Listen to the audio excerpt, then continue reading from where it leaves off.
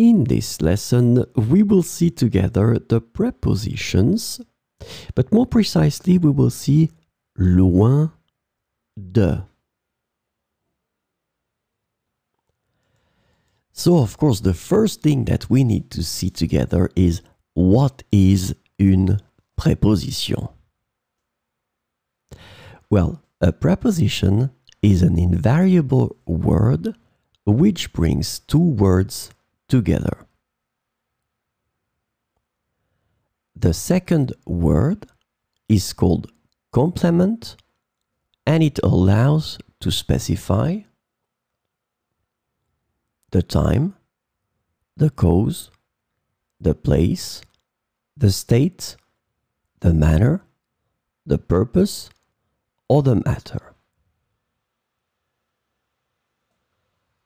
The second word can be another noun, a pronoun, an infinitive verb, or an adverb. And last but not least, remember that this complement can also be a sentence. So, this lesson is about loin de. And the preposition loin de translate to far from in English. So we will see four examples with loin de. Il habite loin de la ville. Il habite loin de la ville.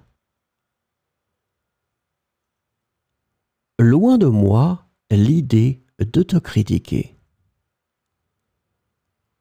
Loin de moi l'idée de te critiquer.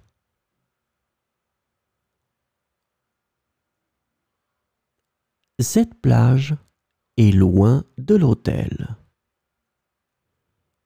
Cette plage est loin de l'hôtel. Loin de là, j'admire ton courage. Loin de là, j'admire ton courage.